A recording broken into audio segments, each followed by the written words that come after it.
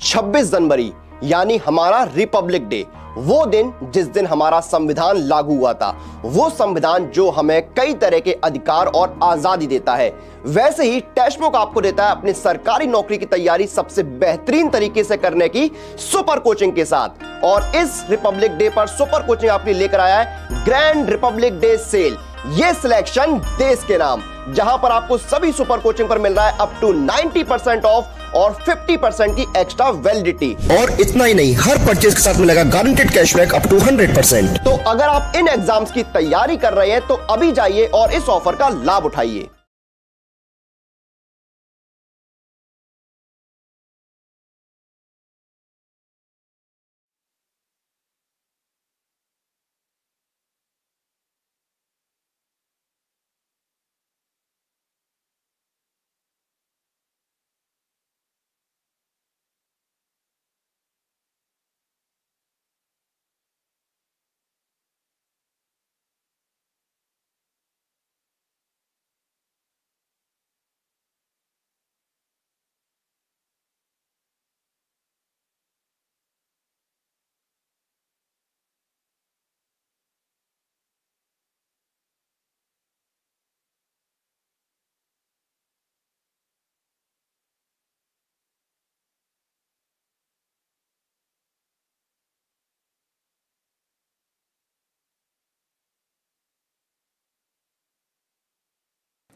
ठीक है ठीक है। अब आ रही है आवाज़। क्या अब आवाज़ आ रही है? मुझे एक बार कंफर्म कर दीजिए सभी लोग क्या आवाज़ अब आ रही है। इज़ इट ओके अब आवाज़ आ रही है? नो साउंड ठीक है, अब सही है? ठीक है गुड चलिए गुड इवनिंग नमस्कार, सभी प्यारे साथियों का फिर से एक बार स्वागत करता हूँ। मित्र, आपको पता है कि भाई कल हमारा रिपब्लिक डे है और रिपब्लिक डे के लिए आपको टेक्स्ट बुक हमेशा कुछ ना कुछ बेहतर आपके लिए करता है। आप इस बात को जानते हैं। और आपके पास लास्ट क्षण भी है, अगर आप इस चीज़ का प्रिपरेशन कर रहे हैं, क्योंकि आपको पता होगा, अभी कुछ देर पहले दरोगा का रिज़ल्ट आ चुका है है ना? तो उसी तरह से बिहार पुलिस कांस्टेबल के लिए अगर आप प्रिपरेशन कर रहे हैं, चाहे आप बिहार एसएससी के लिए प्रिपरेशन कर रहे हैं, ध्यान रखेंगे, बिहार एसएससी या बिहार पुलिस कांस्टेबल का कर रहे हैं तो आपको बहुत ही कम प्राइस पे अभी आपको चल रहा है ग्रैंड रिपब्लिक डे सेल में, जो कि आपका 100 परसेंट कैशबैक भी आपको होने की उम्मीद है इसमें। तो आप यहाँ पर जाकर प्रशांत का कोड लगाकर आप इस बैच के साथ जुड़ सकते हैं। अगर आप इसमें अभी तक नहीं जुटे हैं तो जुड़ सकते हैं, ठीक है? इसमें आपको सब कुछ मिलने वाला है इस बैच में, चाहे कांस्टेबल वाला होगा या बिहार एसएससी का होगा या कोई भी एग्ज़ाम का प्रिपरेशन कर रहे हैं, आपको बहुत कुछ इसमें मिलने वाला है। साथ ही साथ मैं एक चीज़ और बता दूँ आज के लिए, बस ये ध्यान रखना, ये जो ऑफ़र है आज के लिए कि अगर आपकी प्रिपरेशन हो चुकी है, आप पूरी अच्छे तरीके से पढ़ चुके हैं तो आपको मॉक टेस्ट लगाना है तो आपको पता है कि मॉक टेस्ट के लिए भैया टेक्स्ट बुक से बड़ा कोई प्लेटफॉर्म है नहीं।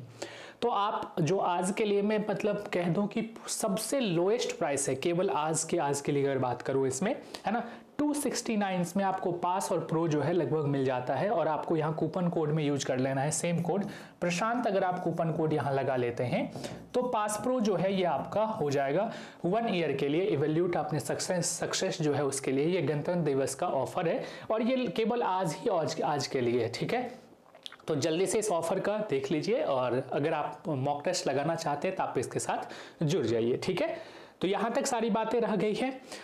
सब कुछ अगर आपको समझ में आ गया तो फिर अब हम यहाँ से आगे की ओर बढ़ेंगे। एक बार सेशन को सभी लोग थोड़ा सा शेयर कर दीजिएगा, ठीक है? एक बार सभी लोग सेशन को शेयर कर दीजिएगा, जिससे मुझे थोड़ा पता चले कि भाई कौन कौन यहाँ उपस्थित हो चुका है और कौन कौन अभी प्यारे साथी हमारे बचे हुए हैं। फिर जाके हम सेशन को लेकर चलेंगे आगे। और इस बार का फिर वही हमारा रहेगा कि कम से कम पचास क्वेश्चन तो हम लोग लेकर चलेंगे ही, जिससे आपकी तैयारी और भी बेहतर हो सके। ठीक है? बाकी चीज़ें आपको पता है कि मैं कैसे पढ़ा रहा हूँ, किस तरीके से पढ़ा रहा हूँ, है ना?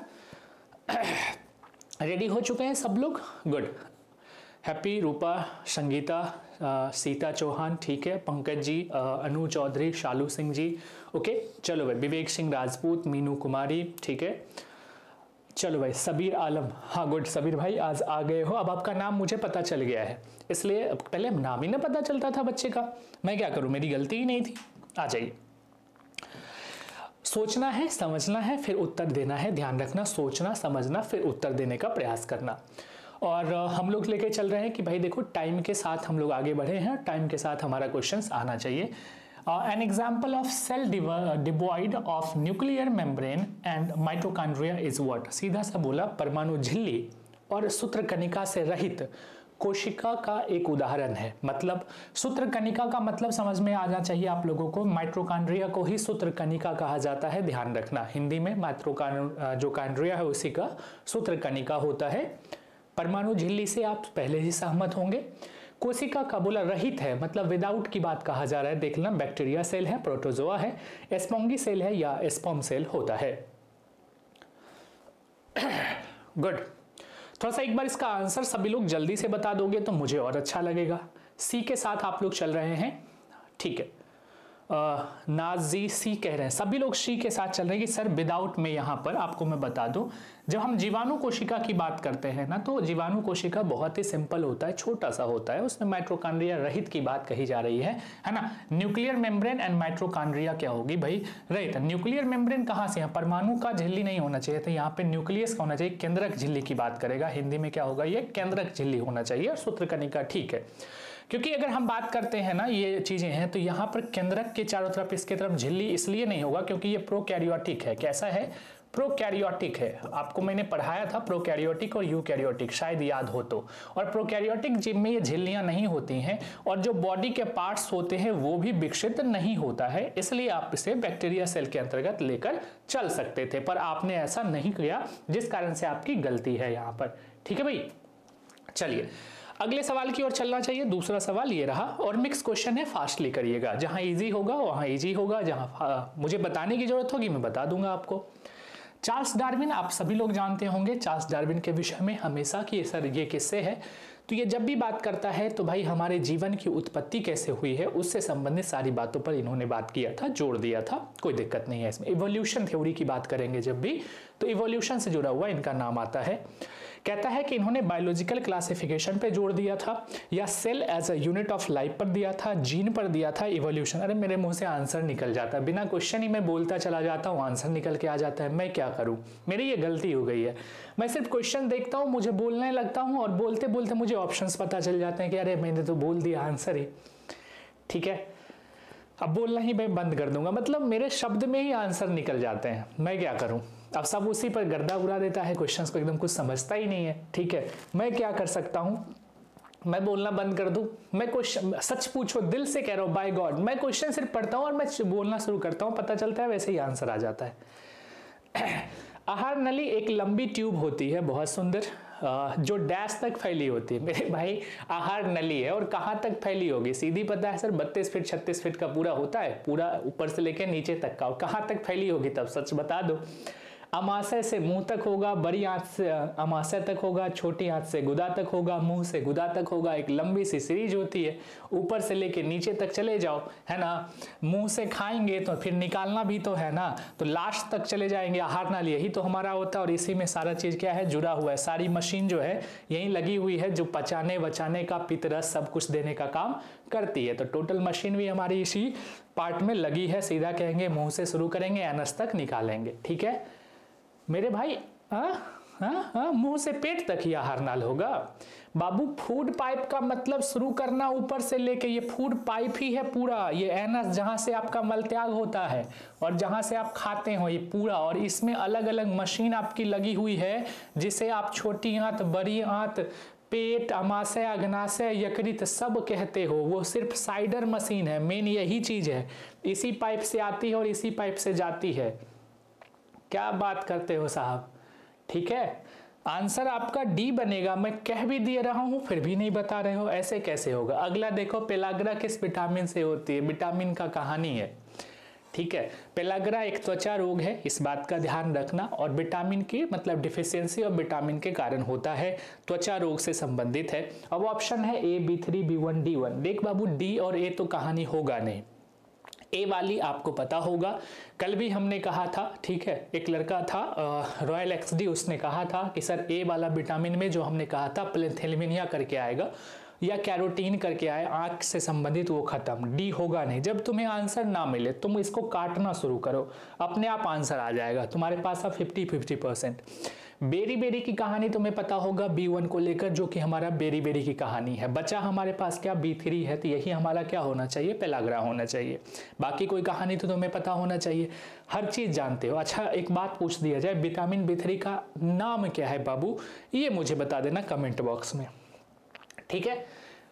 और एक बार सभी लोग सेशन को शेयर कर लेना। सभी लोग थोड़ा सा मेरे कहने से ही सही ना कहने से ही सही। मानोगे तो तुम अपना ही, लेकिन सेशन को शेयर कर लेना जल्दी से। इतनी कम संख्या अच्छा नहीं लगता तुम लोगों में। निम्नलिखित में कौन सा रासायनिक विस्फोटक बारूद में पाया जाता है? बाबू ने पूछा क्या है? केमिकल कंपाउंडर होना चाहिए कंपाउंड होना चाहिए, और एक्सप्लोसिव फाउंड ना गन पाउडर केमिकल है और गन पाउडर है। आप ये बात ध्यान से देखो। गन पाउडर में कैल्शियम सल्फेट होगा पोटेशियम नाइट्रेट एक बात हमेशा याद रखो, हमने गन पाउडर या बारूद की तीन चार कहानी तुमको कहा था। कल या परसों भी सवाल ऐसे आए थे, मैंने कहा था पोटेशियम नंबर वन पे होना चाहिए सल्फ़र होगा और चारकोल होगा। अगर ये तीन चीज़ तुमने देख लिया गन पाउडर में आंसर ठोक देना है उसमें। ठीक है? बारूद मिल गया, तुमको आंसर मिल गया। ठीक है? हमने क्या कहा? याद रखना पोटेशियम पोटेशियम इसलिए होता है क्योंकि सबसे ज़्यादा सक्रिय होता है और एक्टिव होगा तो वो जलेगा, ठीक है? हालाँकि उसमें चूर्ण भी मिलाते हैं एल्युमिनियम का, इसमें कोई दो राय नहीं है, ठीक है? लेकिन पोटेशियम होना चाहिए, सल्फ़र होना चाहिए और चारकोल होना चाहिए। ये तीनों कहानी आपको दिख गया है। कहीं पर तो देखो भाई हाँ पोटेशियम दिख गया, कहेंगे हाँ सर। पोटेशियम दिख गया तो भाई, सीधे आंसर लगा दो। इसमें कुछ ज़्यादा दिमाग लगाना ही नहीं है, ठीक है? जब भी ऐसा पूछ दे, अगर साथ में देता तो हम सल्फ़र को भी लेते, ठीक है बाबू? चलो। अगला सवाल है बुआ, क्या होगा आंसर? अम्लराज सांद हाइड्रोक्लोरिक अम्ल और सांद नाइट्रिक अम्ल। देखो, ये मैंने ना एक फॉर्मूला बताया था। अगर इस प्रश्न का जो गलती करोगे, उस पर मैं पीटने का मतलब मन तो बहुत ज़्यादा करेगा कि मैं उसे पीट दूँ, लेकिन मैं मजबूर हूँ कि मैं स्क्रीन के इस साइड हूँ और तुम मेरे स्क्रीन के उस साइड हो। कभी मिलो, कभी अकेले। पूछेंगे और हाथ मिलाएँगे तो हाथ दबा भी देंगे, इसी बहाने कि भैया तुमने आंसर ही गलत दिया था। याद मैंने कहा था ना आप लोगों को? ठीक है। हाँ जी, रोयल बाबू, आ गया है। विवेक है, पूजा, शरीता, दिनेश, शालू, राजन, धनेश सबने आंसर दे दिया है। बहुत सुंदर बहुत सुंदर बाबू। बाबू ने हमने कहा था, तीन शब्दों से बना हुआ खेल है। अब इसका मतलब तीन शब्द का मतलब आई लव यू मत समझ लेना, ठीक है? तीन शब्दों का ही खेल होता है, जिसे कहते हैं sir H C L H C L में कितना वर्ड है? एक, दो, तीन मतलब तीन। पूछा क्या क्या है? बोला कि हाइड्रोक्लोरिक अम्ल और सांद नाइट्रिक मतलब हाइड्रोक्लोरिक ही तीन होना चाहिए। थ्री इज़ टू वन कहाँ दिख गया? कहेंगे, सर, यही आंसर होगा। बस खटक से उत्तर लगा देना। ये कहानी हमने सिखाया था। तीन शब्दों का कि खेल में आंसर लगा देना है। अगला सवाल नेक्स्ट क्वेश्चन में। उस ग्रंथि का नाम बताइए जो मानव मस्तिष्क की मध्य रेखा यानी दो मस्तिष्क गोलार्धों के बीच में स्थित होता है। उस ग्रंथि का तुम्हें नाम बताना है। अब बताओ हमारे दिमाग में और बोला ग्रंथि ग्लैंड की बात बताना है। अब देखो मेरे भाई, अधिब्रिक है। ब्रिक का मतलब किडनी है तो ये हमारे दिमाग में किडनी थोड़ी होगा। काम खत्म। काटना सीखो। थायराइड तुम्हें पता है कि सर गले में होगा। पेनक्रियाज हमारे पेट में होगा। बचा क्या कहेंगे सर? पीनियल है, आंसर खत्म हो गया। ठीक है? ए वालों का क्या कहें हम? सीता चौधरी जी, क्या कहें हम आपको? अब बी वालों का क्या कहें? हम एक एक पार्ट बता रहे हैं। एड्रिनल अधिब्रिक, ब्रिक का मतलब किडनी किडनी के आसपास होगा। थायराइड गले में होता है। अग्नाशय पेट में लेके आ जाओगे। तुम्हें बोला कि ग्रंथि का जो मानव के मस्तिष्क में, ब्रेन में होना चाहिए बाबू तो क्या होगा? मतलब तुम लोग भी ना, क्या ही कहें तुम्हें हम? एम्पियर डैश की इकाई है। बायो फिजिक्स केमिस्ट्री सब मिक्स क्वेश्चन है। एम्पियर किसकी इकाई है? बुआ, इसमें गलती मत करना। थोड़ा भी गलती करने की गुंजाइश नहीं है इस तरह के सवालों में। थोड़ा देख लो, आठ मिनट में आठ सवाल हम लोग कर चुके हैं क्या? ग्यारह मिनट हो गया, तीन मिनट पीछे हैं। जल्दी जल्दी करो। बाबू रे, मैग्नेटिक फ़ील्ड से एम्पियर का कोई लेना देना नहीं है, ठीक है? लाइट के इंटेंसिटी से लेना नहीं है और चार्ज जहाँ देख लो, वहाँ कुलम्ब होता है, ठीक है? करंट जहाँ देख लो, वहाँ एम्पियर होता है। बस इतनी वो कहानी है, आंसर डी के साथ चल जाना। आंसर क्या होगा? डी के साथ चल जाएँगे। अगला सवाल बाबू, ब्यूटेन गैस का सूत्र क्या होता है? याद है ना आपको? Meth, eth, propane, butane, pentane, hexane, heptane, octane, decane, ये सब कहानी याद है कि नहीं याद है? ये आपके ऑर्गेनिक कंपाउंड का सवाल पूछा है। और ब्यूटेन है तो पहले फॉर्मूला याद रखना C N S two N plus two वाले पर ये होगा क्योंकि ये हमारा सेटरेटेड हाइड्रोकार्बन्स में से एक होता है। और सेटरेटेड हाइड्रोकार्बन्स में से जब भी एक होगा, अब ब्यूटेन हमारा सी का वैल्यू एन का वैल्यू कितना कर दो? कर दो कि एन का वैल्यू चार, इस पर बिठा दो। सी का क्या हो जाएगा? फोर हो जाएगा हाइड्रोजन है दो दो दूना, चार दूना, आठ दो, दस होना चाहिए। यानी कि हाइड्रोजन का वैल्यू कितना होना चाहिए? दस होना चाहिए। सी फोर एस टेन कहाँ दिख रहा है तुम्हें? ऑप्शन कह दो कि सर ये हो गया, ये पेंटेन हो गया, ठीक है? यहाँ पर आपका ये छः है और ये आठ है, काम खत्म हो जाएगा, ठीक है? ब्यूटिलीन वगैरह का कहानी खत्म होगा। तो आंसर तुम्हारा निकल के आ गया। अगला सवाल थोड़ा सा जूम करता हूँ और बढ़िया से फिर से जवाब देना। आर्टिफिशियल सिल्क है, नेचुरल सिल्क है, थर्मोप्लास्टिक है, थर्मोसेटिंग प्लास्टिक है। बाबू, जल्दी से मिला दो, ये प्रश्न आपके कहाँ से पूछा गया है? ये टॉपिक आपका पॉलीमर होता है केमिस्ट्री में। डेली यूजेज में जाओगे तो वहाँ पॉलीमर वाले टॉपिक से सवाल पूछा है। देख बाबू आर्टिफिशियल सिल्क है, इसका मतलब है कि ये सेमी सिंथेटिक होगा। क्या होगा? सेमी सिंथेटिक होगा मतलब नेचुरल और आर्टिफिशियल दोनों उसको मिलाकर दिया गया है। थर्मोप्लास्टिक और थर्मोसेटिंग प्लास्टिक मैंने कितनी बार तुमको पढ़ा दिया है, इसमें कोई नहीं देखो थर्मोप्लास्टिक में पीवीसी लेके चले जाओ और थर्मोप्लास्टिक में ये लेके चले जाओ, ठीक है? नेचुरल फाइबर में ऊल को लेके चले जाओ और रेन को क्या करोगे? ये हमारा सेमी सिंथेटिक होता है। आंसर आपको दिख गया। एक का उत्तर चार होना चाहिए। एक का उत्तर चार देखो, पहला दो खत्म। नीचे वाले में दो में है। बी का उत्तर एक होना चाहिए। बी का उत्तर एक है आंसर तीसरा इसका बनेगा मेरे भाई। क्या बनेगा? तीसरा इसका आंसर बनेगा। सॉलिड है मेरे भाई। सब लोग इसका आंसर दे रहे हो। हेल्थ लैब बहुत बहुत स्वागत है मेरे भाई। ठीक है? और फास्ट इसी रूप में चले तो किसी को कोई दिक्कत, समस्या तो नहीं होनी चाहिए ना। सबको सब कुछ दिख रहा है, समझ में आ रही चीज़ें। ठीक है? सी राइट है बाबू। अगला सवाल है, द ग्रोइंग वॉइस बॉक्स बाबू ने मैंने कितनी बार कहा है कि हमारे वॉइस बॉक्स का मतलब हो जाता है ये वाला, ठीक है? हम गले के पास आते हैं तो दो चीज़ें हमें देखने को मिलता है, याद रखना, यहाँ पर एक जो है, ठीक है? इसे हम अगर वॉइस बॉक्स की बात करें, एक हमारा लिरिंग्स होता है, कहानी आप लोग को मैंने कितनी बार बताया था, एक हमारा फ्रिंग्स होता है, लिरिंग्स होता है और क्या होता है बाबू? फ्रिंग्स होता है। तो वॉइस बॉक्स इसमें किसे कहा जाता है? तो वॉइस बॉक्स मैंने कितनी बार कहा है, कहता है लड़कों में बढ़ते कंठ को गले के बाहर निकले हुए भाग के रूप में देखा जा सकता है, जिसे डैश कहा जाता है। वॉइस बॉक्स ना? वॉइस कैन बी सीन इसे क्या कहा जाता है, जानते हो? इसे कहा जाए जैसे कि हम लोगों का ये है ना, निकला हुआ है। गर्दन है तो गर्दन के पास देखोगे ये निकला हुआ है लड़कों में, ठीक है? और इसका काम क्या होता है? इसका काम होता है श्वास नली और भोजन नली वाला जो है ना काम मतलब भोजन जा रहा है तो ये नहीं कि सांस अटक जाए और सांस जा रहा है तो भोजन अटक जाए, उसको बचा रखने का काम होता है, उसे एडम सैपल के नाम से जाना जाता है। तुम पेड बैच वाले जाके पीडीएफ देख लेना, उसमें हमने लिखाया हुआ था और अच्छे से हमने इस बात को बताया भी था, ठीक है? उत्तर आपका डी सही है। अगला सवाल देख लेना। किस वैज्ञानिक या वैज्ञानिकों ने सापेक्षता के सिद्धांत का प्रस्ताव दिया था? हमेशा ध्यान रखना। सापेक्षता के सिद्धांत के कारण इन्हें नोबेल अवार्ड भी दिया गया था और वो विद्वान बहुत सारे होशियार विद्वान हैं, इसलिए इन्हें मैं बता दूँ, फोटोन का सिद्धांत भी इन्होंने ही दिया था। फोटोन यानी प्रकाश का एक क्या है? क्वांटम पार्टिकल्स है फोटोन। ये भी बातों इन्होंने ही किया था। वॉटसन एंड क्रिक ने आपको पता होगा। वॉटसन एंड क्रिक ने डीएनए से संबंधित डबल हेलिक्स मॉडल तैयार किया था। Albert Einstein is the right answer Charles Darwin या जॉल डांटन परमाणु से रिलेटेड है। चार्ल्स डार्विन आपका बता ही दिया कि एवोल्यूशन से आंसर इसका दूसरा बिल्कुल ही सही है। अगले सवाल पे चलना, लाल रंग का उपयोग खतरे के संकेत के रूप में किया जाता है। क्यों किया जाता है? जल्दी बताना। और सेशन को एक बार शेयर कर लो सभी लोग। एक बार सेशन को शेयर करते हुए तुम्हारा काम है देखो सेशन को शेयर लाइक और सब्सक्राइब कर देना चैनल को। मैं रुक नहीं रहा हूँ ना। आपके लेवल का प्रैक्टिस है और स्पीडली क्वेश्चन को मैं डील कर रहा हूँ, ठीक है? और आप ही लोग कहते हो, सर कमेंट नहीं पढ़ना, मैं किसी का कमेंट भी नहीं देख रहा हूँ ज़्यादातर। ठीक है? जल्दी से खत्म करो, आगे बढ़ते चलो। ठीक है बाबू? इस प्रश्न का जवाब देना जल्दी से। क्या होगा इसका आंसर? क्या बात है। क्या बात है। बहुत सुंदर बहुत सुंदर। सबने आंसर दे दिया। बहुत सुंदर। गुड। बाबू, सीधी सी बात है, लाल रंग का होने का दो रीजन है। पहली बात याद रखना कि इसका तरंग ज़्यादा होता है। यानी वेवलेंथ क्या कहेंगे? वेवलेंथ जो होता है वो मैक्सिमम होता है। दूसरा कारण वेवलेंथ मैक्सिमम होता है तो इसका स्केटरिंग सबसे कम होता है। स्केटरिंग क्या कहोगे? कहेंगे स्केटरिंग जो होता है, यानी प्रकीर्णन क्या होता है? मिनिमम होता है। ये दो ऑप्शन कहीं पे देख लो। लाल रंग होता है, कहेंगे इससे कोई मतलब नहीं है। प्रकीर्णित, कम प्रकीर्णन होता है आंसर मिल गया, तुम्हारा काम खत्म है। ठीक है? आंसर तुम्हारा मिल गया। क्या है? काम खत्म है। दूसरा इसका ऑप्शन का आंसर होगा। अगला, पराग का दूसरे से उसी फूल के बतिकाग्र प्रस्थांतरण क्या कहलाती है? एक ही फूल की बात बोल रहा है। दूसरे से उसी फूल के बतिकाग्र पर। Transfer of pollen from anther to the stigma of the same flower is refer to as what देख बाबू, सीधी सी बात है। जैसे कि हमने क्या कहा कि ये फूल है। ठीक है?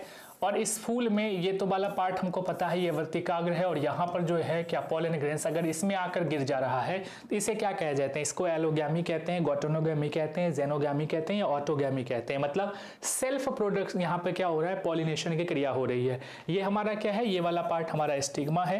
आपको पता होना चाहिए, ठीक है? और ये वाला पार्ट हमारा क्या था? ये पूरा एंथर था और इसमें ये पॉलिन ग्रेन्स का सिर्फ़ स्टिग्मा में जाना ही हमारा पॉलिनेशन कहलाता है। तो जब एक ही फूल में जा रहा हो तो उसे हम क्या कहेंगे? ये बताना है एलोगैमी है गोटेनोगैमी है जेनोगैमी है या ऑटोगैमी है। देखो, सबका अलग अलग नाम है। किसी ने पक्षी के द्वारा किया है, किसी ने हवा के द्वारा किया है, किसी ने किसी दूसरे के द्वारा किया हो। ऑटोगैमी के साथ सब लोग जा रहे हो तो आंसर बिल्कुल सही है। खुद से ही गिर गया हो, है ना? हवा आई होगी, टूट गया होगा और गिर गया होगा, उसे हम ऑटोगैमी कहते हैं। अगला सवाल है आ, बहुत अच्छा सा सवाल है। इसमें भी कौन सा भाग पौधे का जो मादा भाग? देखो यहाँ पे ना सवाल आज सांस नहीं लेना है तुम लोगों को। नहीं मैं ले रहा हूँ ना तुम लोग फास्टली बढ़ते चलो। एकदम कम से कम पच्चीस तीस क्वेश्चन के बाद थोड़ा सा सांस लेना है। फास्टली बनाओ। पौधे का मादा प्रजनन अंग नहीं है। सीधी सी बात अब इसमें पूछा, तुमको हर एक पार्ट हम बता चुके हैं। देखो बाबू, स्टाइल कहेंगे बिल्कुल है एस्टिग्मा है। बाबू रे, मेन वाला पार्ट कभी भी स्त्री में नहीं होगा, काम खत्म। आंसर तीसरा हो गया। एस्टामेन कभी होगा, कहेंगे सर नहीं होगा। ठीक है, मेन देख रहे हो ना? इंग्लिश में मेन देख लो, काम खत्म हो गया। अगला सवाल, निम्नलिखित में किस पौधे में प्रजनन अंग छुपा होता है? सीधी बात है, बोला प्रजनन अंग तो होता है, लेकिन छुपा हुआ होता है। ठीक है रिप्रोडक्शन हिडन रिप्रोडक्टिव ऑर्गेन है, ठीक है? ऑर्गेन तो है बट क्या है? हिडन है, छुपा हुआ है। देख लो ध्यान से।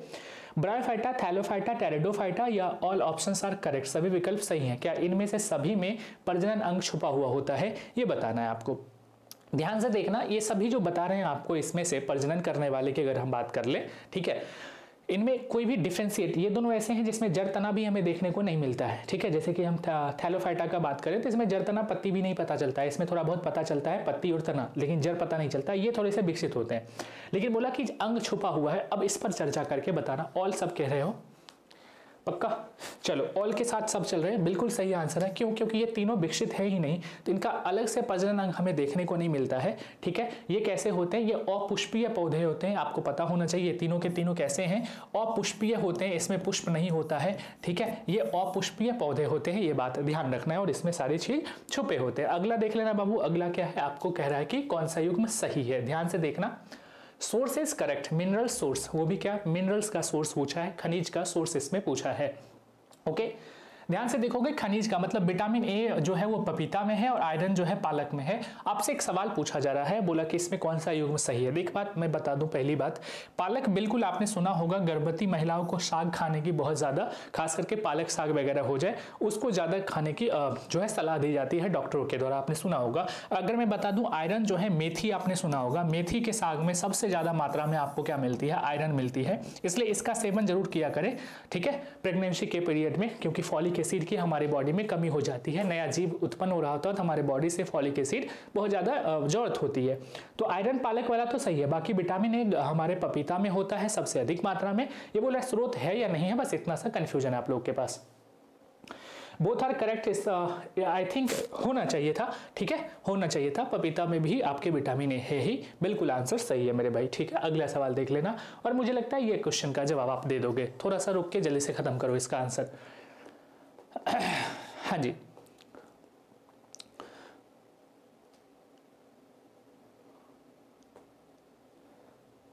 चलो पंकज बहुत सुंदर। सोनी विवेक गुड। चलो सोनी पाठक गुड।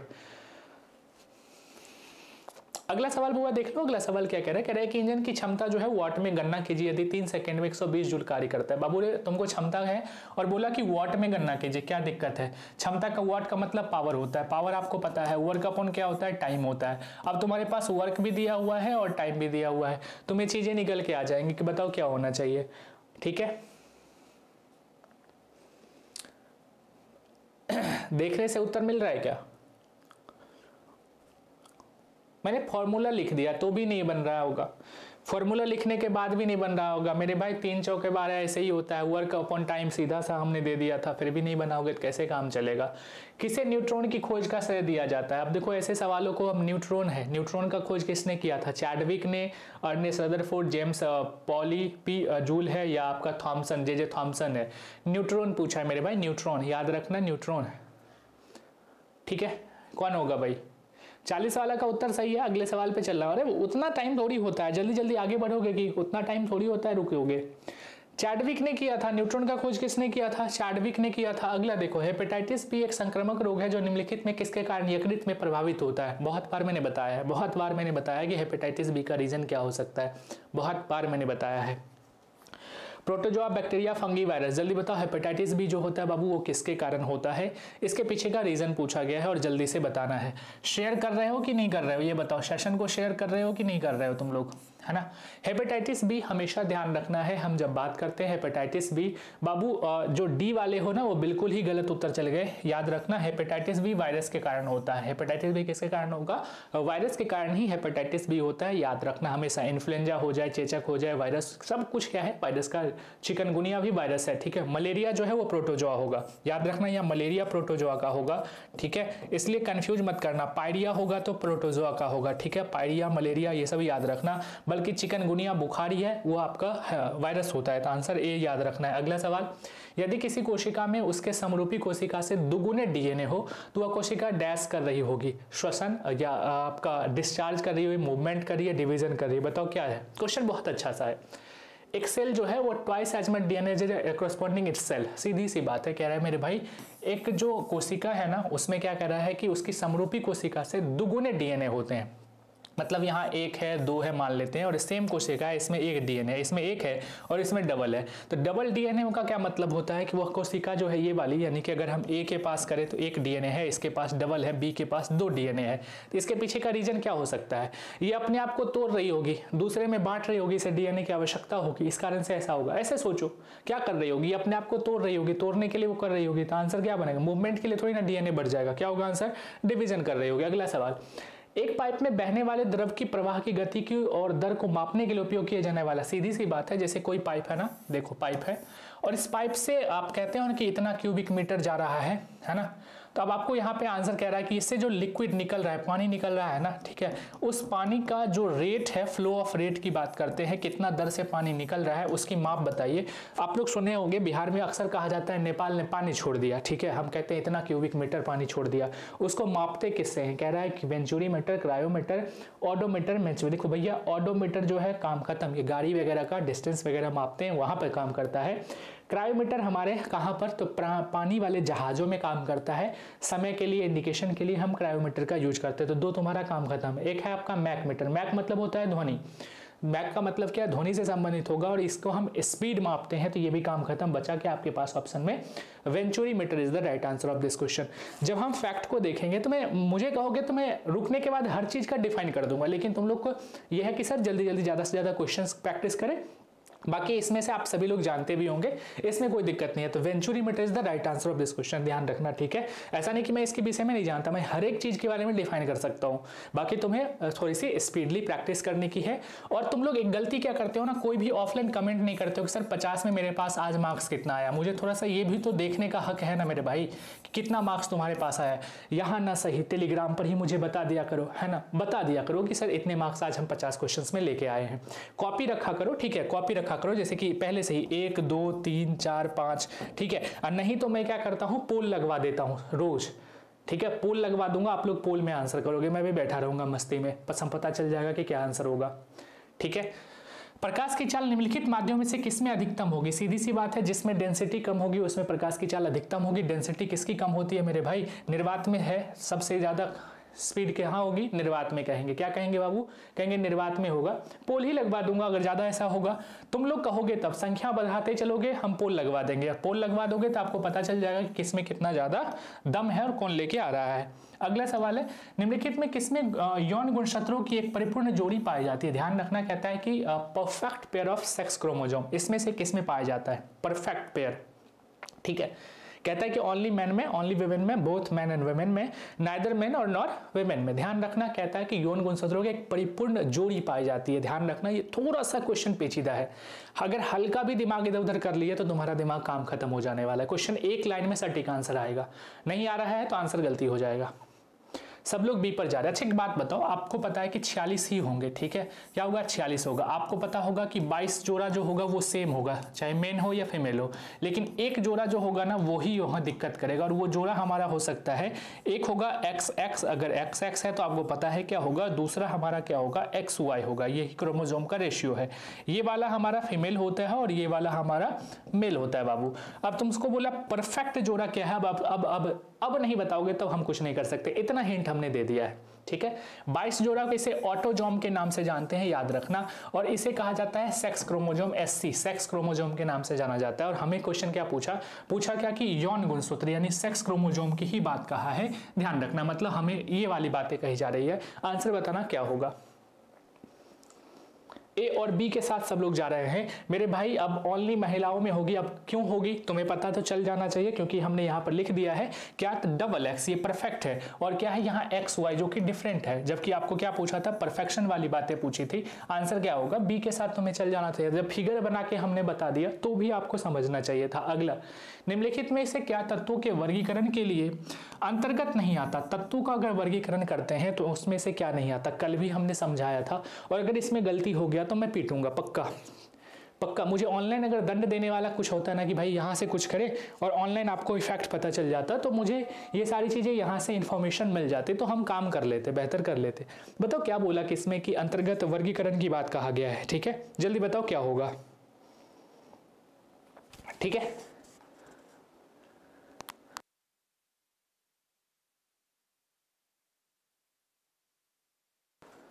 चलिए, समझ में आ गया सबको, सब कुछ? आंसर क्या होगा? सबने आंसर दिया कि सर वाटर होना चाहिए। मेरे भाई वाटर ही होगा इसका आंसर। सीधी सी बात है, यौगिक के बारे में थोड़ी ना बताया था। यौगिक के बारे में किसी ने बताया था क्या? नहीं ना तो आंसर वाटर ही होगा, बिल्कुल सही है। अगला सवाल है, कौन सा कार्बोहाइड्रेट का स्रोत नहीं है? ध्यान रखना, पूछा नहीं है। सोर्स ऑफ़ कार्बोहाइड्रेट मैंने पढ़ाया था ना, अच्छे से याद होगा ना आप लोगों को। पेट वाला हर एक बच्चा को याद होगा कि अगर मैंने छोटे दिन भी क्लास लिया होगा, बीस बाईस दिन भी अगर मैंने क्लास लिया, दस घंटे भी क्लास लिया तो मैं उस टॉपिक को नहीं छोड़ता जिस टॉपिक से इंपॉर्टेंट फैक्ट आते हैं। साइंस को लेकर आपको निश्चिंत हो जाना है अगर आप हमारे साथ जुड़ते हैं तो। मैंने कहा था, क्या होगा? कहता है, कार्बोहाइड्रेट का स्रोत नहीं है। हमेशा ध्यान रखना, मोटा अनाज जो होता है, कार्बोहाइड्रेट का बहुत बड़ा स्रोत होता है। खास करके आलू और वगैरह बहुत ज़्यादा कार्बोहाइड्रेट आपको मिल जाएगा। यहाँ पे मिलेट है ग्राम है, आप देखो यहाँ पे। राइस है स्वर्गम है। आपको पता होगा ग्राम जो होता है ना, वो चना, वो आपके प्रोटीन देता है। आपको पता होना चाहिए, चना क्या देता है बाबू? प्रोटीन देता है। ये कहानी सबको पता है। चना क्या देता है? प्रोटीन जबकि हमने क्या कहा, आपका ज्वार, मोटा अनाज, बाजरा, मोटा अनाज और चावल भी हमें कार्बोहाइड्रेट देता है, जबकि चना हमें प्रोटीन देता है ये। क्यों? क्योंकि इसके कुल अलग हैं। ये कौन है? चना जो होता है हमारा लिग्यूमिनेसी कुल का होता है। कौन से कुल का होता है? लिग्यूमिनेसी कुल का होता है तो आंसर क्लियर है। अगला सवाल है किस तत्व की विद्युत ऋणात्मकता सबसे अधिक होती? है मैंने अच्छा ऋणात्मकता पूछा है, ध्यान रखना इसमें। ऋणात्मकता, सबसे अधिक ऋणात्मकता, दो तीन सवाल मैंने कई बार कहा है, आपको एक एफिनिटी पूछेगा, है ना? एफिनिटी पूछेगा, सबसे अधिक एफिनिटी किसकी होती है? अब दूसरा आपसे पूछा है कि इसमें ऋणात्मकता, ऐसे सवाल खूब पूछा जाता है। सबसे ज़्यादा सक्रिय तत्व कौन होंगे? सबसे ज़्यादा इसमें ऋणात्मकता वाला तत्व कौन सा होगा? सब आंसर ए के साथ जा रहा है ए और सी ए और सी के साथ सब जाएगा। अच्छी बात बताओ, सोडियम हमारा कभी भी ऋणात्मकता नहीं होगा, ये हमेशा देता है एन ए प्लस होता है। तो सोडियम तो होगा नहीं। अब तुम्हारे पास तीन ऑप्शन है, देख लो, ठीक है? क्लोरीन लेता है और फ्लोरिन भी लेता है। और क्लोरीन, फ्लोरीन दोनों देख लो हेलोजन का तत्व है, जबकि ऑक्सीजन हमारा हेलोजन में नहीं आता तो ऑक्सीजन को भी काम खत्म कर दो। अब तुम्हारे पास दो ऑप्शंस मैंने 50 50 कर दिया है, अब बताओ क्या आंसर आएँगे? क्योंकि आपको पता है ना क्लोरीन फ्लोरीन आयोडीन ब्रोमीन ये सब क्या है? हमारे सब के सब ये जो है हमारे हेलोजन फैमिली और हेलोजन फैमिली में सबसे ज़्यादा रिनेटिविटी की अगर बात करेंगे तो वो हमारा फ्लोरीन के साथ जाता है आंसर क्या होगा? जब भी आपके कह दे और ऋणात्मकता हुई, विद्युत के साथ ऋणात्मकता की सवाल आ जाए तो हम इसे फ्लोरीन के साथ चलेंगे। ठीक है बाबू? अगला। बाबू, अब इस सवाल का जवाब हम नहीं दे पाएँगे। हम नहीं दे पाएँगे क्योंकि हमें भरोसा है कि हमने इतना पढ़ाया है कि इसका जवाब आप एक मिनट भी नहीं लगाएँगे, दो सेकेंड में बता देंगे आप। बस क्वेश्चन को पढ़ने में जो समय लगा लगा। बाकी आंसर तुम्हारे मुँह पे होना चाहिए। हाँ जी हेल्थ लैब बस पढ़ने में जो समय लग जाए लग जाए, बाकी इसका उत्तर आप तुरंत बता देंगे। क्योंकि जरा दृष्टि दोष है जरा का मतलब है प्रेस बायोपिया। ना निकट है, ना दूर है तो दोनों को हटा दो। ठीक है, बचा क्या हमारे पास? यहाँ पे ये काम खत्म हो जाएगा और ये काम खत्म हो जाएगा। अब तुम्हारे पास दो ऑप्शन हैं। जरा दृष्टि दोष होता कब है ये प्रेस बायोपिया? आपको अगर ये चीज़ें याद होंगी तो आंसर क्लियर हो गया। ठीक है? ये चीज़ें अगर और बिंदुकता हो जाता है एस्टेगमेटिज्म कहानी और एक हमारा प्रेस बायोपिया ये चार ही दोष हैं जो हर बार एग्ज़ाम में पूछा जाता है। एक आपसे मायोपिया दूसरा हेट्रोमाइपिया ठीक है? तीसरा आपसे पूछ दिया प्रेस बायोपिया चौथा पूछेगा एस्टेगमेटिज्म चार बीमारी अगर क्लियर है तो आपका आँख से संबंधित कोई दिक्कत नहीं। दो ऑप्शन तो मैं हमेशा काट देता हूँ। अब देखो सिलेंड्रिकल लेंस किसके काम चाहिए? जिसका कॉर्निया ठीक ना हो। ठीक है, जिसका कोर्निया टेढ़ा मेढ़ा होता है उसका। आंसर तो तुम्हारे पास क्लियर हो चुका है कि सर बाइफोकल होगा। जानते हो क्यों रीजन क्योंकि ये जो बीमारी होती है बाबू, ये होती है बुढ़ों में। और बुढ़ों में यानी कि बुढ़ापा जब शरीर आएगा ना तो आपका भी, हमारा भी सबको ये होगा। इसका रीजन होता है कि जो हमारा मसल्स होता है ना, जो मसल्स पे लेंस टिके होते हैं, वो मसल्स सही नहीं हो पाता है। मसल्स हमारा कमज़ोर हो जाता है। तो लेंस को एडजस्ट नहीं कर पाता है, ना दूर की वस्तु दिखेगा, ना नज़दीक की वस्तु दिखेगा। इसलिए हमें दुई फोकल लेंस चाहिए, जिसमें हमें दूर के लिए भी देखना होगा और नियर के भी देखना होगा। तो गांधी जी का इस तरह का इसमें लेंस देखा होगा, इस तरह का। कभी कभी यही पूछेगा कि जो बाइफोकली लेंस होते हैं, उसके नीचे में कौन सा दर्पण लेंस होता है, ऊपर में कौन? तो याद रखना, इसमें तीन होगा और इसमें चार होगा। अब तीन का मतलब क्या कहोगे? तीन का मतलब सर उत्तल होना चाहिए, क्योंकि सीढ़ी चढ़ोगे तो पहले तीन होगा और इसका मतलब क्या होगा? अवतल होगा। तो यही हमारा बाइफोकल यानी कि इसका फोकल लेंथ कुछ और होगा, इसका फोकल लेंथ कुछ और होगा। इसलिए दो फोक्सी लेंस इसे कहा जाता है, क्योंकि इसमें उत्तल, अवतल दोनों। पहले तीन, तब चार। ध्यान रखना, गांधी जी की तरह अब क्वेश्चन कभी घुमा के पूछे तो इसका जवाब आप दे सकते हो। ठीक है बाबू? चलिए, अगला सवाल है कोशिका के किस भाग में ग्लूकोज पैरुवेट में परिवर्तित हो जाता है। अब देखो, कोशिका के कौन से भाग में? ठीक है? पैरुवेट में परिवर्तित हो जाता है। जल्दी बताना इसका आंसर क्या है? तैतीस मिनट हो गया, उनतीस क्वेश्चन पे चल रहे हैं। मतलब हम पीछे हैं, बाबू साहब। पचास क्वेश्चन पहुँचना है। जल्दी खत्म करिए। और ऐसा नहीं कि क्वेश्चंस में दम नहीं है। लेकिन आप लोग शेयर नहीं करते हैं, ये अलग बात है। ठीक है? आप लोग शेयर नहीं करेंगे, वो अलग बात है। लाइक नहीं किए हो तो कर देना, बाकी देख लेना। बाबू ग्लूकोज को कह रहा है कि कौन से भाग में पायरुवेट में बदलता है? ऑप्शन है सूत्रकनिका। सूत्रकनिका का मतलब होता है माइट्रोकांड्रिया न्यूक्लियस साइटोप्लाज्म कोशिका द्रव और इंडोप्लाज्मिक रेटिकुलम अंतःपरदबी जालिका। इसका आंसर सीधा सा एक लाइन में इसका आंसर देखो खाना कहाँ बनता है? पत्ती में। जमा कहाँ होगा? श्वसन तोड़ता है और तोतन हो तोड़ने के बाद जो चीज़ें बनती है, उसके बाद वो कहाँ जाता है? कहते हैं उसको साइटोप्लाज्म उसे उसी के माध्यम से बदलता है और वहीं पर वो रहता है। उसे हम क्या कहेंगे? साइटोप्लाज्म की कहानी हम लेकर चलेंगे। अगला है कि वह योगी कौन सा है जिसे कांच के बर्तन में नहीं रखा जाता क्योंकि यह कांच के साथ प्रतिक्रिया कर लेता है। मतलब ऐसा कौन सा कंपाउंड है जिसे हम शीशे के बर्तन भी नहीं रख सकते क्योंकि शीशा, हालाँकि हमारा शीशा रिएक्टिव नहीं है ज़्यादातर, ठीक है? लेकिन फिर भी वो शीशा से भी रिएक्शन करके शीशा को खराब कर देता है, ठीक है? हालाँकि याद रखना, वो कहता है क्या है? एच है एच है HF है एच है। एल्कोहल को हम अक्सर शीशे वाले ही, जितना भी शराब का बोतल देखा होगा, उसको हम शीशा में रखते हैं। लैब वाली बोतल देखा होगा, शीशा में रखते हैं। लेकिन इसमें एक बात और है, कहता है कि ये कांच के साथ प्रतिक्रिया कर ही लेता है, ग्लास में नहीं रखते हैं, ऐसा कौन सा है? H N O three H ठीक है। एल तो नॉर्मल है, हमारे पेट में भी रहता है। एच एफ़ और एच ये दोनों में से थोड़ा सा देख लेना, ठीक है। एल तो नॉर्मल है, हमारे पेट में भी रहता है, उसको तो म्यूकस सही कर लेता है। बाकी तुम्हें क्या बताना है इसमें आंसर गुड सी इसका आंसर होगा मेरे भाई। एच एफ़ होगा। क्या होगा? हाइड्रोफ्लोरिक एसिड एच एफ़ क्या कहेंगे? H F is the right answer good चलो भाई। अगले सवाल पे चलते हैं। एक अवतल दर्पण जिसकी फोकस दूरी एफ़ है, बहुत सुंदर। यदि 6 सेंटीमीटर लंबाई की कोई वस्तु मुख अक्ष पर चार एफ़ पर रखी जाती है तो उसके प्रतिबिंब की लंबाई क्या होगी? बस सिंपल सा क्वेश्चन है। प्रतिबिंब की लंबाई पूछा है। फॉर्मूला अगर आपको याद है तो चीज़ें आपके समझ बन जाएगी। अगर फॉर्मूला याद नहीं है बाबू साहब तो आपसे क्वेश्चन नहीं हिलने वाले ये। ये क्वेश्चन नहीं हिलेंगे तो याद रखना। इसमें कुछ फॉर्मूला वाला काम जो है करना पड़ेगा। बिना फॉर्मूला काम पर काम नहीं होगा। अगर तुक्का लगा दे रहे हो तो सी कह रहे हो कि मान लेते हैं ठीक है लेकिन होगा क्या? दो सेंटीमीटर कितने सेंटीमीटर दो सेंटीमीटर क्योंकि कहा कि चार एफ़ पर है और फोकल दूरी बोला छह सेंटीमीटर है। सीधी सी बात थी। अगला सवाल है निम्नलिखित में कौन सा दिल के गुर्दे तक रक्त पहुंचाता है? अब तो आसान सा सवाल है। कहा दिल से गुर्दे तक? अब सोचो ना ये हमारा हर्ट है ठीक है और यहाँ से कह रहा है नीचे तक कौन पहुंचाएगा? बताओ हमारा किडनी तक कौन खून के ले आ, लेके आता है? मतलब ऊपर से नीचे खून को लाने वाली पाइप का नाम पूछा है आपको। आर्टरी होगा या आपका रिनल आर्टरी कॉरेनरी आर्टरी होगा वेन केवा होगा रिनल वेन होगा, कौन सा लेके आता है? अच्छा दिल से लेकर गुर्दा तक यानी किडनी तक आएगा तो इसका मतलब है खून हमारा शुद्ध आएगा, खून कैसा आएगा? शुद्ध आएगा। अब शुद्ध आएगा तो कौन सा लेके आएगा, बताओ। ठीक है? खून हमारे पास शुद्ध आएगा और शुद्ध खून हमारा कौन सा लेके आएगा? बस सीधी सी बात है। सीधी सी बात है, मेरे भाई, उसे रेनल आर्टरी के नाम से जानते हैं। जब भी ऐसा क्वेश्चन आपसे पूछा जाए कि अपोजिट आएगा, शुद्ध आएगा तो उसे हम क्या कहेंगे? रेनल आर्टरी के नाम से उसे हम जानते हैं। ठीक है? रेनल आर्टरी गुड अगला है, निस्तापन धातु विज्ञान की प्रक्रिया है जो मूल रूप से डैश की जाती है। सीधा फॉर्मूला है। आप कहोगे, सर फॉर्मूला क्या है? मतलब डेफिनेशन के तौर पे आप देखो।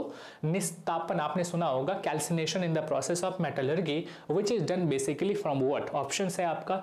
अयस की सांद्रता से अयस के शोधन से रिफाइनिंग ऑफ़ जो हम ओर्स कहते हैं, उससे है। For reducing oxide ore to the metal या for convent converting carbonate ore to the oxide ore से ये रिलेटेड है। बताना क्या बनेगा?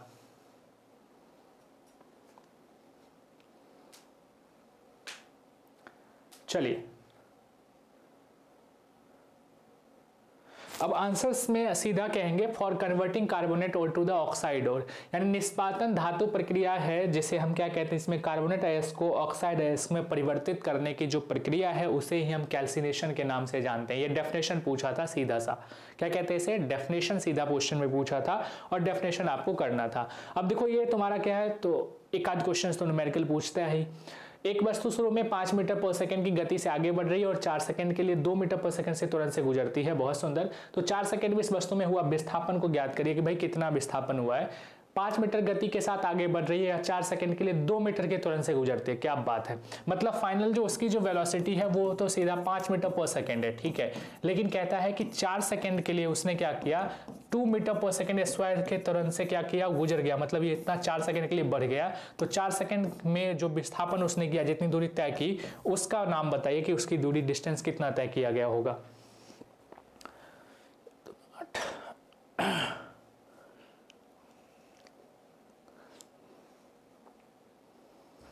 छत्तीस। इतना जल्दी बना कैसे लेते हो तुम लोग भाई? हमको पता ही नहीं चलता है। एक्सलेशन मीटर पर सेकेंड स्क्वायर में है। टोटल डिस्टेंस में डिस्प्लेसमेंट पूछा है। तुम लोग इतने स्पीड में बना कैसे लेते हो? छत्तीस। हम तो सोचते रह गए थे अच्छा इसको ऐसे करेंगे तब छत्तीस पूरेगा लेकिन तुम लोग तो जोड़ दिए भाई, बहुत सुंदर। यूरिया आमतौर पर इस्तेमाल किया जाने वाला नाइट्रोजन आधारित उर्वरक है, बिल्कुल नाइट्रोजन ही होता है, यूरिया में है क्या? हम कहते हैं, सर, यूरिया की जब भी बात करते हैं तो एक बार एन कह दीजिए, ठीक है? इधर भी एन कह दीजिए और बीच में लगा दीजिए सीओ काम खत्म। ठीक है ना? अब हम यहाँ पर बात करते हैं तो NH2 NH2 और C की बात कर ले रहा हमने तो यहाँ पे उर्वरक है अमोनिया और डैश के बीच अभिक्रिया द्वारा तैयार किया जाता है। अच्छा हो तो गया, इसमें आंसर क्या बनेगा? मैंने सी लिख दिया कार्बन डाइऑक्साइड एक ही ऑप्शन था। एक ही ऑप्शन था। ठीक है, अगले सवाल पे। जैव उर्वरक नाइट्रोजन को किसमें परिवर्तित करते हैं? बाबू जैव बायो फर्टिलाइज़र जो है वो नाइट्रोजन को किसमें कन्वर्ट करते हैं? अब तुमको देखने से ही पता चल गया होगा, जब हम बायो फर्टिलाइज़र की बात करते हैं, जैसे हमारे तो वो किसमें? यूरिक एसिड में नाइट्राइड में नाइट्रेट में अमोनिया में। अमोनिया खतरनाक होता है, उससे तोड़ के तो यूरिया बनता है। तो यूरिया नाइट्रेट की बात कर रहा है कि भाई देखो, जैव उर्वरक है बायो फर्टिलाइज़र है, किसमें चेंज करेगा? किसमें चेंज होगा? अमोनिया कैसे होगा? श्रीनाथ जी, अमोनिया बहुत ज़्यादा खतरनाक होता है। अमोनिया में कोई चीज़ नहीं होगा। अमोनिया बहुत ज़्यादा पॉइजनस होता है। उससे तोड़ के तो यूरिया बनता है। ठीक है? तो आंसर्स जो आपके बनेंगे, आप कहते हैं कि परिवर्तित कर सकते हैं तो उसमें नाइट्रोजन को किसमें परिवर्तित कर सकते हैं? तब वो अमोनिया के फॉर्मेट में कह सकते हैं। बहुत खतरनाक होता है। ऐस ऐस हम जान रहे थे कि नाइट्रेट मारेगा लगभग। राइजोबियम करता है वो नाइट्रेट की कहानी में। कौन करता है? राइजोबियम करता है, ये नाइट्रेट की कहानी बाकी आपको अलग कहानी था इसमें। ठीक है? अरे, क्या चल क्या रहा है भाई? तुम लोगों का कमेंट सेशन में कुछ अलग अलग ही बात चल रहा है।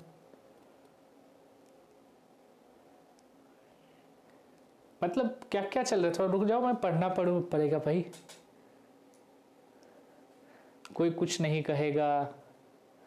ये हो क्या रहा है भाई? हम पढ़ाने पे थोड़ा स्पीड लगे हुए हैं। तुम लोग यहाँ कुछ और ही स्पीड कर रहे हो health lab right to property C is the right to property Manmohini sir.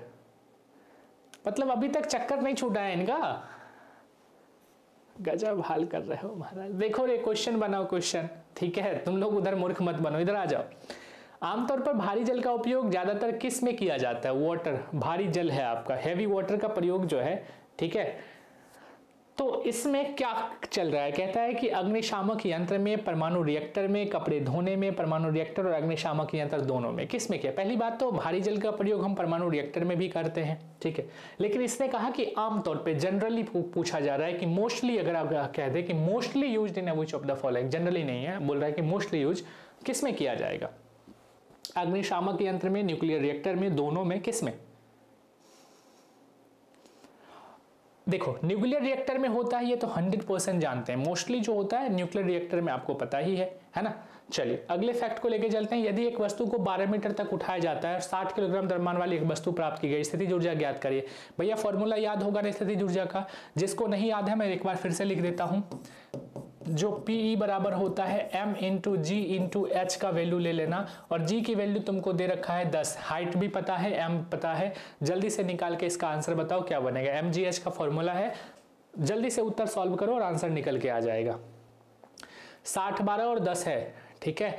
Metre है केजी है और दस है। तो कितना होगा? मतलब एक किसी ने पचास निकाल दिया कि भाई काइनेटिक एनर्जी कैसे होगा? बारह छ और दस छः सौ बरछक बहत्तर। आंसर तो तुम्हारा पचास कैसे निकल गया मेरे भाई? कैसे पचास निकल गया भाई? हमको तो बहत्तर निकल रहा था।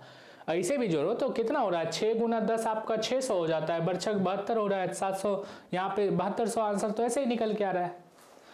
मतलब कुछ भी निम्नलिखित में से पादक के किस उत्तक को वर्धमान उत्तक के रूप में जानता है? देखो ग्रोइंग टिश्यू के रूप में किसे जानते हैं? कौन सा ग्रोइंग टिश्यू अब जो बढ़ेगा ग्रोइंग टिश्यू कहता है कि ओनली परमानेंट टिश्यू को माना जाएगा मेरिस्मेटिक टिश्यू को माना जाएगा बोथ परमानेंट और उसको माना जाएगा, दोनों में से कोई नहीं। बाबू रे परमानेंट यानी कि अस्थाई तब हो जाता है जब उसमें वृद्धि बंद हो जाती है। ठीक है? अस्थाई कब हो जाता है? जब उसमें वृद्धि बंद हो जाती है। राइट टू प्रॉपर्टी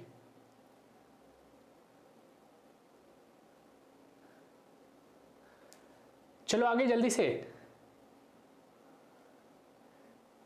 पहले पढ़ लो तुम लोग, कहाँ तुम मनमोहन मनमोहन में लेके चल रहे हो?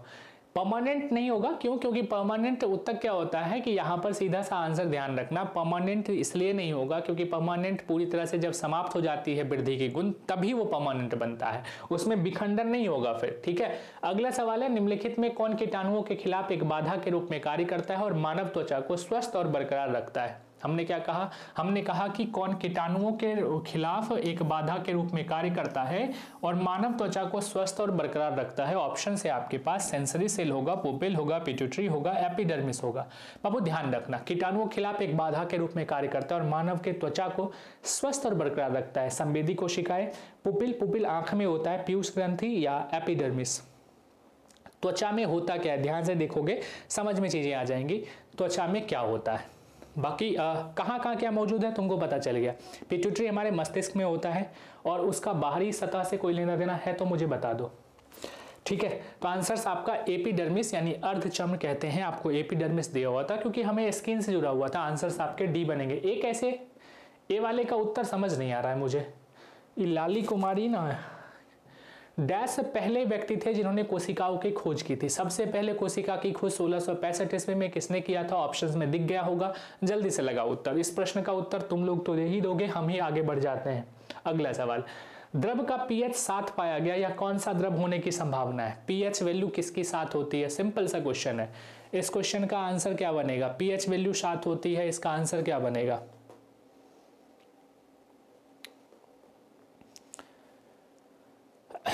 चलो जल्दी से इसका आंसर बताओ। भाई वाटर इसका आंसर होगा, इतना ज़्यादा दिमाग क्या लग रहा है? तापमान में वृद्धि के साथ एक शुद्ध अर्धचालक का प्रतिरोध क्या होता है? ऑलवेज बताया था हमने। याद होगा टेम्परेचर के साथ रिलेशन में हमेशा रिलेशन आपको बताता हूँ। किसके साथ मेरे भाई? सेमीकंडक्टर की अगर बात करते हैं सेमीकंडक्टर का, ठीक है? सेमीकंडक्टर की बात करते हैं तो ये क्या चीज़ बढ़ता है? जानते हो? रेसिस्टेंस के साथ अगर ये आता है रेसिस्टेंस के साथ तो इसमें गर्म करने पर रेसिस्टेंस इसका कम हो जाता है। तो ऑप्शन में है, कहीं पर कम हो जाना डिक्रीज होना, कहेंगे सर, सीधा आंसर होगा। क्या होगा? रेसिस्टेंस डिक्रीज होगा। फ़र्स्ट इंक्रीज दैन डिक्रीज नहीं होगा। तापमान में वृद्धि करोगे तो उसका प्रतिरोध हमेशा क्या होता है? घटता है। आंसर इसका डी चलना है, ठीक है? रिलेशन अपोजिट याद रखना है। अगला सवाल इंटरनेशनल सिस्टम ऑफ़ यूनिट जिसको हम एस आई कहते हैं, में एक हॉर्स पावर का विद्युत समतुल्य कितना होता है? One H P is equal to watt कहीं पर वैल्यू दिख रहा है आपको? जल्दी से मारो वैल्यू अगर दिख रहा है तो। चलो, चौवालीस क्वेश्चन पे आगे, छह क्वेश्चन और हमारे लिए बाकी हैं, ठीक है?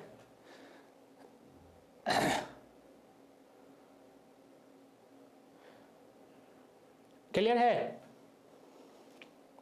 गुड आंसर्स क्या बनेंगे भाई? तो 746 वॉट. क्या आंसर है? 746 वॉट इसके राइट आंसर होंगे। अगला सवाल, निम्न में किसमें दिशा और परिणाम दोनों होते हैं? किसमें ऐसा है जिसमें दिशा भी और परिणाम दोनों होता है? मतलब वो एक प्रकार का वेक्टर क्वांटिटी होना चाहिए बाबू। क्या होना चाहिए? वेक्टर अब बताओ मुझे। मास है डिस्टेंस है, संवेग है स्पीड है। बस सीधा सा, दिशा और परिमाण उसमें होंगे जो वैक्टर क्वांटिटी होगा। आपको सीधा लग रहा है स्पीड क्या है? कहेंगे स्केलर क्वांटिटी है। डिस्टेंस क्या है? स्केलर क्वांटिटी है। और मास भी क्या है? स्केलर क्वांटिटी है। ऑप्शन क्या बचा आपके पास? मोमेंटम संवेग क्या है? वैक्टर क्वांटिटी है। आंसर क्या बनेगा? सी के साथ हम सीधा उत्तर पर चलेंगे। क्या होगा? क्योंकि ये हमारा वेक्टर क्वांटिटी होता है। बस, इससे ज़्यादा कुछ दिमाग लगाने की आवश्यकता ही नहीं है। नारियल फाइबर और शक्तिशाली फैटी एसिड से भरे हुए, जिन्हें माध्यम श्रृंखला कहा जाता है डैश होगा वो। अभी देखो, ये कल भी क्वेश्चन हुआ था। हमने इसमें चर्चा किया था, जिसमें ओमेगा थ्री फैटी एसिड पर भी बात हमने कल किया था, एक आया था, जिसमें आंसर हमने किया था। कल पहला क्वेश्चन इसी तरह से स्टार्ट हुआ था। Coconut are loaded with the fibre and the powerful fatty acid call the medium change is called what omega three fatty acid कहते हैं ट्रांसफैट कहते हैं पॉलीसैचुरेटेड फैट्स कहते हैं या ट्राइग्लाइसरॉल कहते हैं ट्राइग्लिसरॉल कहते हैं। क्या इसका आंसर बन सकता है? ठीक है। फैक्ट पे अगर चलोगे तो यहाँ पर देखो, यहाँ पे इसका आंसर क्या है? ट्राई गिल्सरॉल जो होगा, इसका राइट आंसर होगा, क्योंकि फाइबर है और फैटी एसिड है। तो फैटी एसिड क्या होगा? गिल्सरॉल की बात हम लेकर चलेंगे फैटी एसिड में।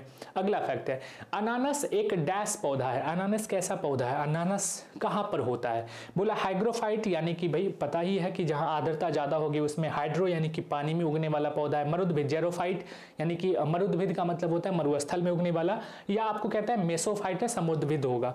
पहली चीज़ अनानस होता कहाँ पर? बस ये आपसे पूछा है कि कहाँ पर अनानस होता है? क्वेश्चन पे थोड़ा सा गंभीरता के साथ इसको सॉल्व करो, ठीक है? ठीक है? किसमें होगा? अनानस जो होती है, वो खेत में, वो बढ़ने का काम होगा, ठीक है? क्या वो हमारे मरुस्थल में अनानस होंगे? संभव लगता है कि मरुस्थल में अनानस होंगे? समझ में आ गया बात? है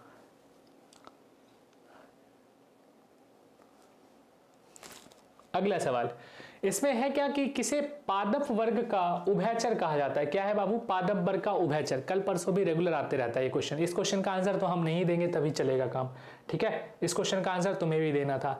साबुन रेवन कागज़, विस्फोटक, रंजक और पेट्रोलियम उत्पादों के निर्माण के लिए किस अकार्बनिक यौगिक का उपयोग किया? था अच्छी बात पता अकार्बनिक है। साबुन बनाने में हम किसका प्रयोग करते हैं? साबुन है, अपमार्जक है, ये सब पॉलीमर है, ठीक है? रेगुलर डेली वाइज में यूज़ करते हैं। इसमें से किसका प्रयोग करते हैं? अकार्बनिक यौगिक है, ठीक है? क्या बोला इसमें? और भी एक्सप्लोसिव जो भी प्रोडक्ट है इनऑर्गेनिक है। ऑर्गेनिक नहीं है इनऑर्गेनिक है। N A H C O three C C L two N A O H या N A O S C L ठीक है? अब आंसर इसमें क्या बनेगा? किसका उपयोग करते हैं? साबुन, रेमोन या कागज़ में? इसका जो आंसर होगा आपका एन ए ओ एस ठीक है? सोडियम हाइड्रोक्साइड जो है, इसका प्रयोग करते हैं। जब भी अकार्बनिक बोल दिया था, यहाँ देखो कार्बन तुम्हें क्लोरीन की बात है, यहाँ देखो कार्बन के, ठीक है? यहाँ पे देखो तुम कार्बन का काम खत्म कर देता, ठीक है? क्लोरीन वगैरह है। अगला पचासवा क्वेश्चन और ये आपका होमवर्क रहा तुम्हारा। पचासवें क्वेश्चन के लिए ये आपका होमवर्क रहा मेरे भाई, ठीक है? ये क्वेश्चन आपका होमवर्क रहा, और मुझे एक बार ज़रूर बता देना कि पचास में से तुमने कितने नंबर लाए हैं, ठीक है? How many number you have get in fifty total आपका आउट ऑफ़ फिफ्टी में आपने कितना लाया है, इसे कमेंट करके आप मुझे ज़रूर बताओगे, ठीक है? कम से कम ट्राई करो, यहाँ आते हो तो टाइम पास नहीं करो, पढ़ने आते हो, एक घंटे के लिए अच्छे से पढ़ो, पचास क्वेश्चन अभी हम लोगों ने डिस्कशन करा है, जो इंपॉर्टेंट थे, ठीक है? बाकी मैंने आपको क्या बताया कि सबसे बेहतर चीज़ें ये होती हैं, अगर आपके पास अभी ऑप्शन है तो मैंने हमेशा कहा है कि आपके पास अभी ऑप्शन है एक तो पहला ऑप्शन ये कि गणतंत्र दिवस पे आपको पास और प्रो जो है आज रात के लिए ये ऑफ़र है, जो सबसे कम प्राइस में 269 में आपको मिल रहा है। सबसे कम प्राइस में अगर देखेंगे 269 मिल रहा है। बस आपको यहाँ पे कोड लगा लेना है प्रशांत का, ठीक है? जो आप मॉक टेस्ट आप दे सकते हैं टेक्स्ट बुक के लिए, बहुत ही बेहतरीन ऑफ़र है। दूसरा सबसे बड़ी चीज़ हमने कहा, अभी आपको ग्रैंड रिपब्लिक सेल चल रहा है, जो कि बहुत कम प्राइस पे। देखोगे, ये 324 है ना? बिहार एसएससी की बात करोगे तो 284 में मिल जाएगा। जब आप यहाँ पे कोड लगाओगे क्या, प्रशांत का? आप कहोगे, कैसे लगाएँगे सर तो उसके लिए कुछ नहीं करना मैं आपको बताता हूँ कि कैसे जाना है। सीधे आ जाओ, ठीक है? यूट्यूब पे आ जाओ। यूट्यूब क्लिक करो। यहाँ यूट्यूब के होम पे आ जाओगे। यूट्यूब खोलोगे ना, आपको पहले ही क्लास दिख जाएगा। ये रही तुम्हारी क्लास है ना? पीडीएफ कहाँ लेना है, क्या, कैसे मिलेगा, सब कुछ मैं आपको बता देता हूँ अभी। ये क्लास आपकी चल रही है, देखो। ठीक है? यहाँ क्लास आपकी चल रही है। और 84 लोग ही अभी तक लाइक किए। मतलब 100 प्लस अभी भी देख रहा है जाते जाते भी, लेकिन लाइक कितना है? 84 मात्र, देख लो।